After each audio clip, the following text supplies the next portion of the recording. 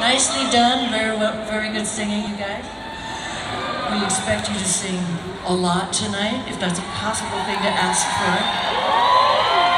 But uh, if you're too shy, don't worry, the guy next to you won't be.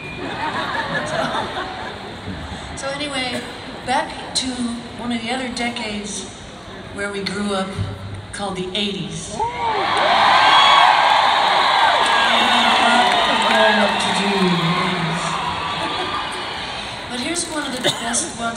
Sort of we, we brought it along with us for the ride. This is called These Dreams.